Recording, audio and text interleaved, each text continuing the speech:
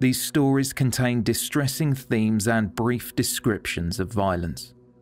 This content is not suitable for children, and listener discretion is advised.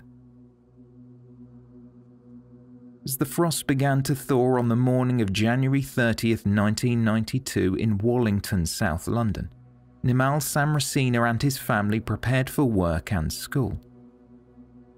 37 year old Nimal prepared to drive his 12 year old daughter to school before making the trip to Bristow's Helicopters in Redhill, where he was an avionics engineer. His wife, Florence, would normally get a lift to work too, but that morning she wasn't feeling too well and stayed in. Nimal left the house, opening the gate onto the path. He opened the garage door as his daughter said goodbye to her mother and then came out. This is how they did things. Nimal would get the car warmed up and she would meet him at the end of the lane. Only this time, when she got there just minutes later, there was a group of people huddled around. They were all standing around something near her garage. Hesitantly, she approached, seeing that someone was on the ground. She recognized the shoes, and he wasn't moving. Nimal Samarasinha, his jumper soaked in blood, had a single stab wound through his back into his heart.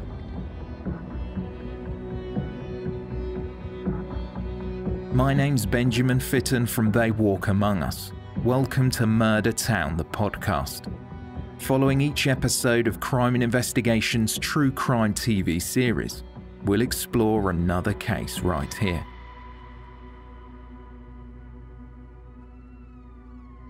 When police and ambulance officers arrived at the back of Demesne Road, Nimal Samarasinha was pronounced dead. Witnesses at the scene described hearing Nimal calling for help as they were either walking along the street or going to their cars nearby. As police continued pinning down neighbours and passers by, they pieced together a few vital clues relatively early on. One person saw a man, believed not to be Nimal, in the lane near the back gate of the family's property earlier that morning. After his cries for help, another person heard someone running, and a neighbour across the road saw a white car screeching down the street shortly after. This sighting was vague, but would soon be backed up by further sightings that morning of two men acting suspiciously in a white Ford Orion. Earlier in the morning, another neighbour from across the street noticed a man sitting in a white Orion close to the corner near the Samarasinha home. He described a man sitting in the front seat as if he was waiting for someone, and his description was an Asian man around 40 to 45 years of age and chubby in his appearance. Thick, bushy hair pushed back off his face, wearing a beige jacket or rain mac. The driver had a view of both the front door as well as the garage.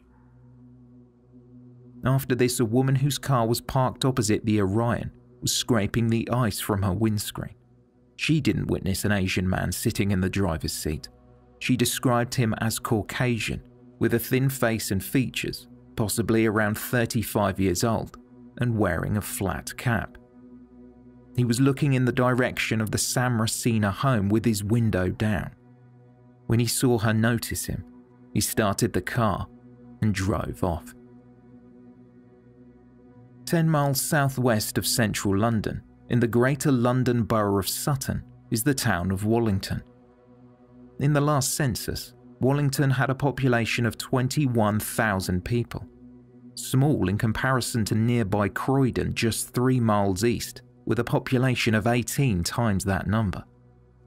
Croydon had become one of the largest commercial districts outside central London, perfectly positioned along a transit corridor between London and the south coast of England, and ultimately the channel crossing to Europe.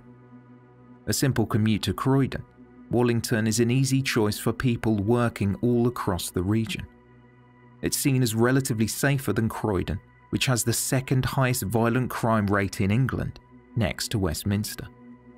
But it isn't without its problems. In the most recent report released in 2009 by the Metropolitan Police, of the 18 boroughs of Sutton, Wallington South had the fourth highest level of crime in the borough. The three biggest problems were antisocial behaviour, violence, and sexual offences. Nimal, who was known to his friends as Sam, came to the UK from Sri Lanka in the 1970s as an engineering student. He met Florence, who was Nigerian born, but had been in Glasgow since 1970 to go to school. After studying, Nimal overstayed his visa and was jailed for six months. Shortly after release, he and Florence married and had their daughter. He spent time abroad working in Nigeria and Sri Lanka, where he was employed by Air Lanka as an aircraft engineer, keeping him away from the UK and his family for long periods. That was until he fell out with Air Lanka in 1984 and was fired. He staged a protest at the airport there. The airline were paying higher wages to workers like himself who studied abroad than those workers who had remained in Sri Lanka to study. When Amal returned to the UK, he got a job at Bristow's Helicopters, 45 minutes from Wallington in Redhill. He remained there until his murder as a licensed avionics engineer, maintaining and fixing the electronics of helicopters. He was known to frequently work late nights and weekends and would often bring his daughter with him to learn the ropes of his job. While Nimal was working abroad, Florence had got a job at Brent Council in North London as an assistant benefits officer. Her career in local government flourished, and when Nimal returned, she applied for the position of Chief Benefits Officer at Croydon Council and subsequently became the first woman of colour to hold the position, a job which paid a high salary at the time of £30,000 a year and came with dozens of staff reporting into her. Florence had been given the news by detectives, and they spent time with her and her daughter, trying to find any clue as to why Nimal might have been killed.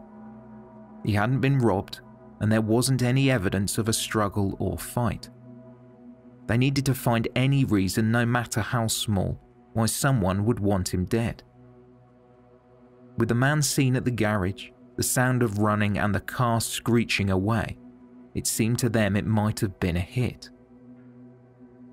When Detective Inspector Tony Kirby, who would lead the investigation, arrived at the home, Florence answered the door. He sat with Florence making notes as she sniffed into her handkerchief. Following protocol, he had checked if there were any police files on the map and wanted to clear some things up with Florence. They were aware of the old record for overstaying his visa, but more recently, there had been five occasions where police had been called to the house. Once by Namal and four times by Florence. In the first of these call-outs, police arrived to find the couple arguing out in their street. On another occasion, when Florence called in, officers arrived to find Namal with a cut on his head. Things escalated, and a third incident occurred where Florence filed the report that Nimal attacked her with a knife. Each time he denied what she was saying was true, and police found it very difficult to work out the facts of what had really happened. Also, because Florence never wanted to take it further, nothing concrete happened. Detective Inspector Kirby needed clarity on what had been going on in their relationship, what the arguments were about, and why they were happening. And it was then that Florence admitted in floods of tears that she had discovered Namal was involved in the drugs trade. She described late night phone calls with people and strange occurrences, and that, Recently, there had been threats on his life. Although Florence's sudden, new information seemed strange, it did seem related to the most recent call out that Namal had actually made. Four weeks earlier, on the night of Wednesday, January 2nd, Namal phoned police to say something strange had occurred at the house. At midnight, Namal was awoken by the doorbell. He went downstairs opening the door to a man he later told police he didn't recognize, but who said he was a neighbor. The neighbor explained he had noticed Namal's front door ajar and thought they should know. Police arrived and found no sign of a break in, and they were never able to track down the supposed neighbour. Maybe this had something to do with drugs.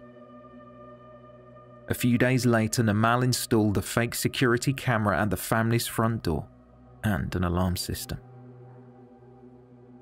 The white Orion car came up again when a third witness came forward and said that on the morning after this front door incident, she was walking her dog along Demesne Road, as she did regularly just after 7am when she saw a small white Orion approaching.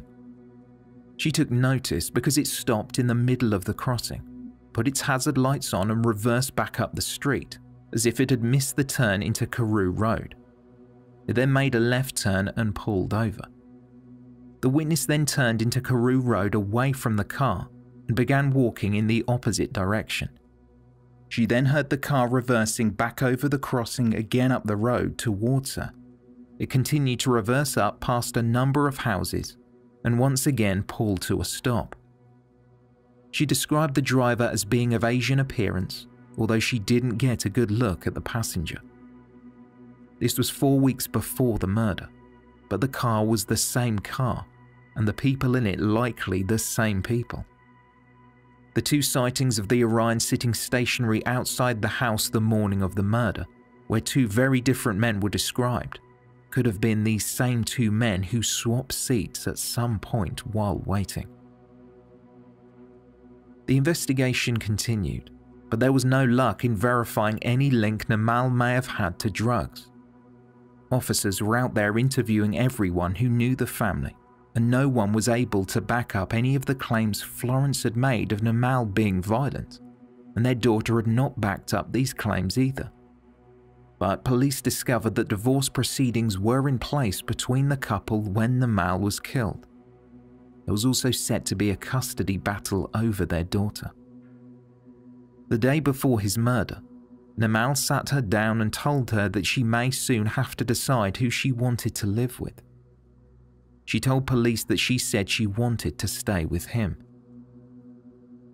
Less than three months later, in April 1992, BBC's Crime Watch profiled the murder. They made an appeal for anyone who might know something to come forward.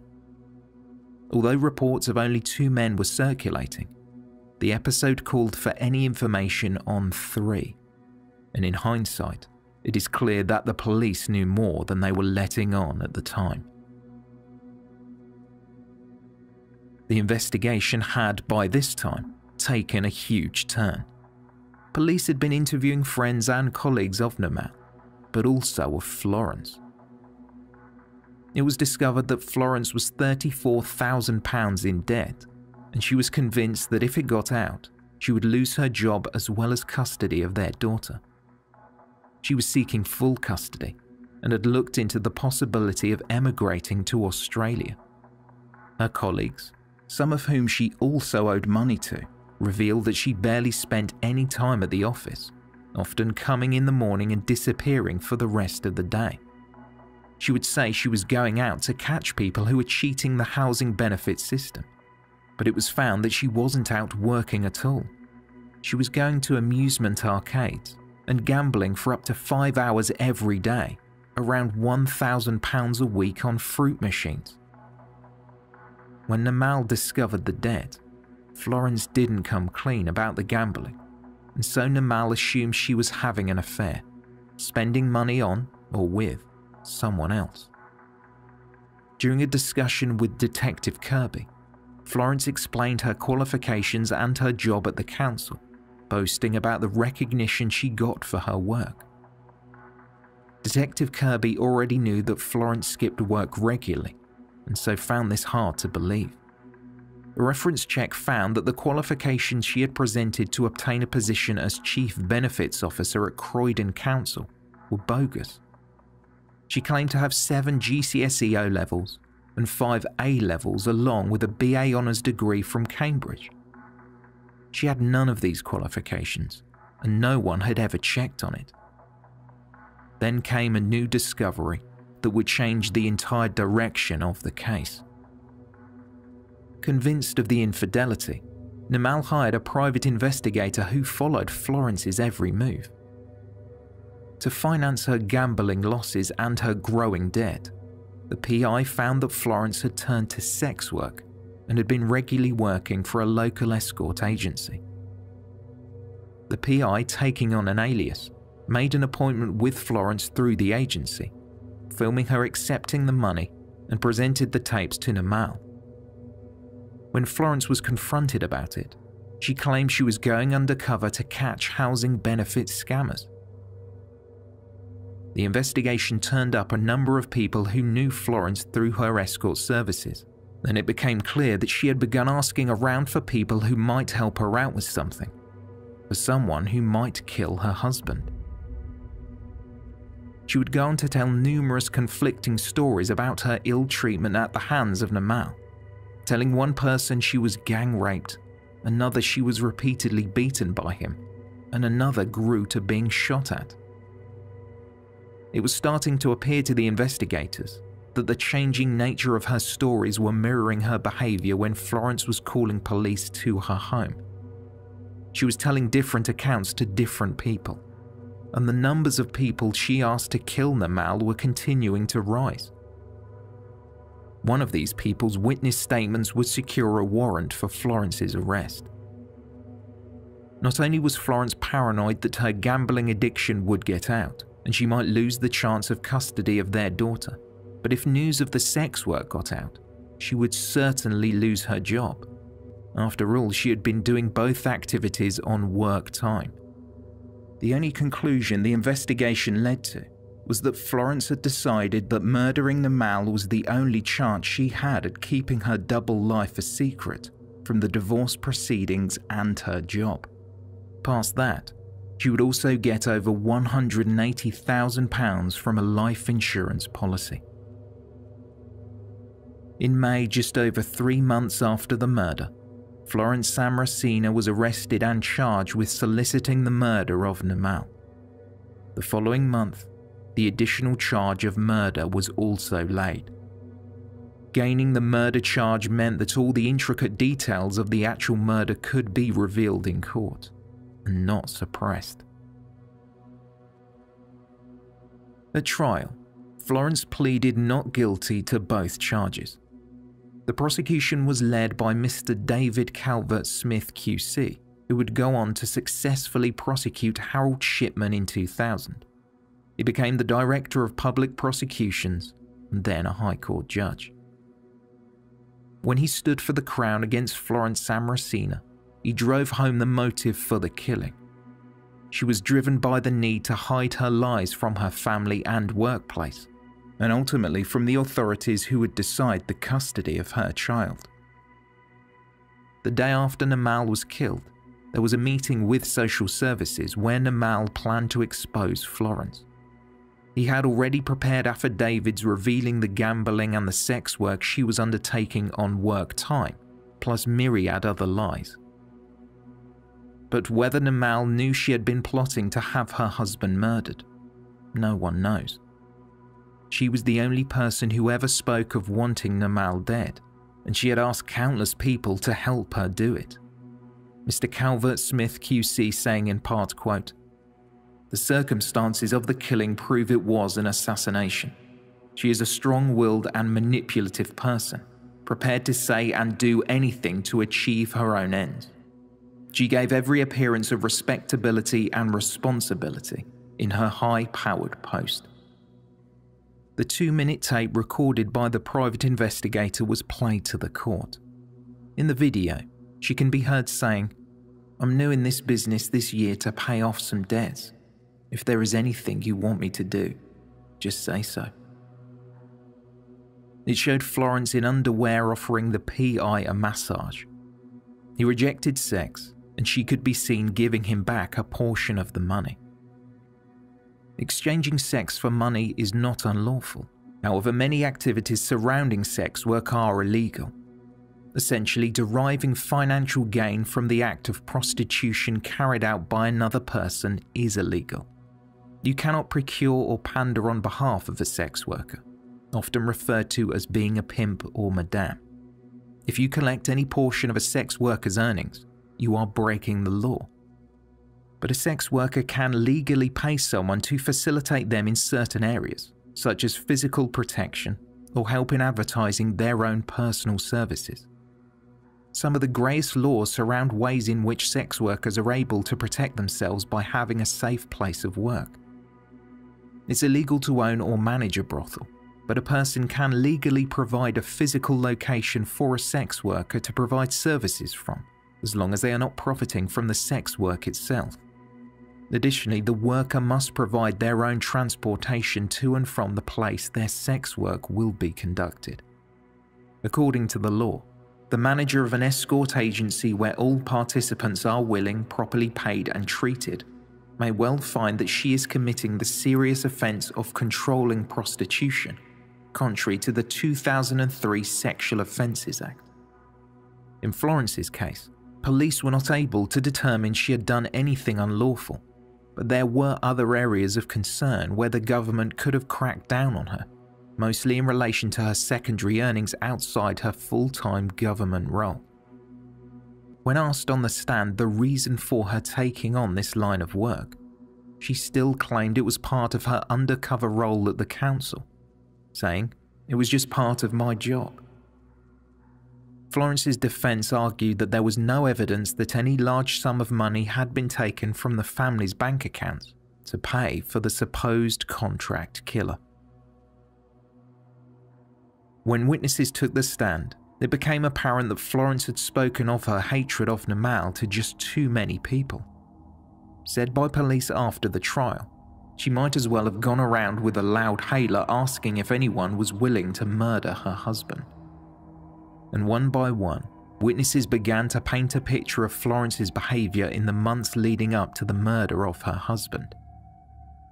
The manager of an amusement arcade where Florence often went to gamble testified that on one occasion Florence told him she had been gang raped by her husband's friends and shot at. She then said she might take a knife and stick it in him. Florence got to know the arcade manager's girlfriend, who she told the same story, saying she wanted to get rid of her husband. A story then grew. She claimed that Namal had arranged to have her cousin killed so that Florence wouldn't proceed with the divorce. She then said Namal had possibly been interfering with their daughter. It seems that once she began telling this to people, she may have had more interest in her plight. A co worker at the council stated that Florence told them she wished her husband was dead. Everyone questioned said that they never took her seriously, and none of Florence's accusations could ever be verified. The court heard that when Florence began working at the escort agency and was meeting new people, the frequency of her discussions about Namal increased a sex worker who met Florence at the end of 1991, a few months before the murder, took the stand. Florence had told her that Namal drugged her, held a gun to her head, and had photos of the gang rape that she was adamant would get into the papers. Florence then explained that she had previously paid someone £10,000 to have Namal killed, but it had gone wrong. Namal had found out and beaten her, she then asked this co worker if she would visit Namal in disguise and drug him. Instead, the woman introduced Florence to a man who she went on to meet with twice. He testified that Florence asked him if he would find someone to kill Namal, and that he appeased her by saying he would think about it. Florence chased him up, but he denied ever suggesting anyone. The problem with these witnesses was that they had not come forward to police during the investigation, and the judge made it clear that their reliability was suspect, especially when some contradicted themselves. This was highlighted once again when the next witness, the chairman of the Croydon Police Consultative Committee, took the witness stand because he too had not come forward during the high profile investigation. He had only come forward when he knew his involvement with Florence might come out. Taken directly from the local government website, the Croydon Police Consultative Committee, or group, is in place to assist in informing local policing plans and other local strategy documents. With the help of independent advisors, the committee are able to, based on a community perspective, advise the borough commander about the police management of critical incidents. Advisors are able to critically appraise police actions from the perspective of a receiver of police services and a member of the community, immediately access police decision makers, and appraise resources within the communities that may assist to resolve particular incidents, give constructive criticism to the police, to identify options for resolutions of policing problems, and assist to secure community confidence. It was the chairman of this committee who took the stand, but not in any official role. He had met Florence through the council and via other voluntary positions he held in the community. When he first spoke to police, he described her in a very positive light, which police found contradicting to reports from others at the council. It was four months later that he contacted police to say he had not told the whole truth. He admitted that he had met Florence via a female sex worker who had taken the stand previously. He admitted that while using the escort service, he regularly boasted about his police connections, his ties to SAS, people trained to kill, and he also claimed he knew the Krays. This boasting got him an introduction to Florence. Florence told him she would pay £500 to have her husband killed an offer he claimed he did not pursue. The witnesses continued. Another man met Florence at a barbecue and hoped to obtain a cleaning contract from her via her council office. But instead, Florence told him about her problem and she wanted someone to kill her husband. They met up around five times, and each time she would ask the same question he stated that he wanted to keep the conversation going about these possible contracts, so he kept saying he would see if he could find someone. Eventually, he introduced her to someone he knew, a doorman who he thought might at least offer her some protection. This doorman was also a witness, testifying that he spoke to Florence initially with the other friend, on the basis he would offer her security but she immediately brought up her husband. She told them both that two prior hits she had arranged had been unsuccessful. He said he never took this request seriously. After Florence started crying and listing all the accusations she had been telling the others about Namal, these two men felt sorry for her and said they'd see if they could sort something out, but both claimed they went no further with these discussions and had no intention of finding a hit for £500. It was this man, the doorman, who phoned police when news broke of Namal's murder. And although it took some pressure, it was his witness statement that secured the warrant for Florence's arrest. Both the prosecution and the judge described the doorman an opportunist and a rogue. Florence defended herself. In the dock, Admitting that she lied to obtain her job, she admitted her misconduct at work. Florence still claimed, however, that she had made a deal with the escort agency to go undercover in order to expose housing benefit fraud.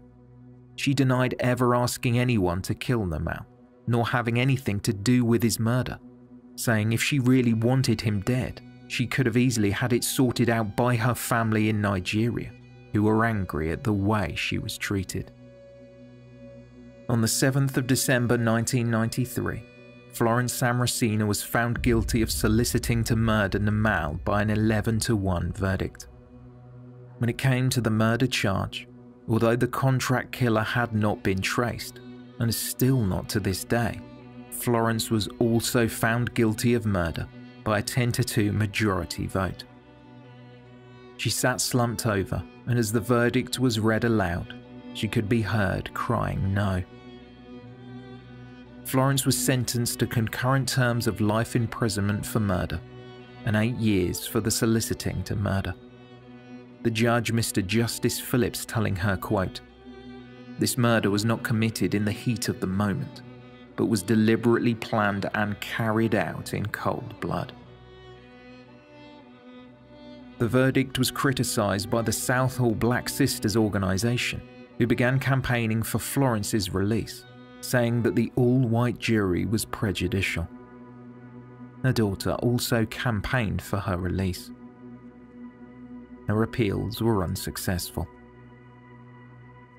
After the trial, police revealed that Nimal had a feeling his wife was plotting his murder. He had made notes of how he would want his funeral to go and the songs he wanted. At the service, family and friends followed his request, and the song Stand By Your Man was played.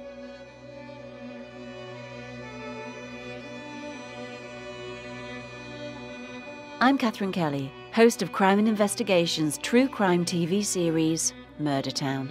Thank you for joining me on my journey as I visited 10 UK destinations and uncovered 10 stories of murder in Murdertown. If you missed out, catch up on demand at Crime and Investigation and look out for more of our true crime documentaries. For more information on the series, head to crimeandinvestigation.co.uk and let us know your thoughts by searching for Crime and Investigation on social media or using hashtag Murdertown. The Murdertown podcast is hosted by Benjamin Fitton, researched and written by Anna Priestland, and edited and produced by Chloe Frost.